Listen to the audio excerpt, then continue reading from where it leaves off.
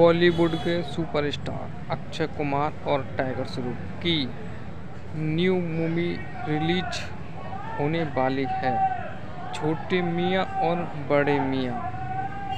Film के star ने अपने सोशल मीडिया अकाउंट पर बताया, फ़िल्म 2024 की ईद पर सिनेमाघरों में रिलीज़ हो जाएगी।